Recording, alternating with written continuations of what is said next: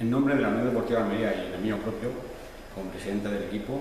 quisiera felicitar a todos los aficionados y simpatizantes de, de la Unión Deportiva de Almería en esta fiesta y,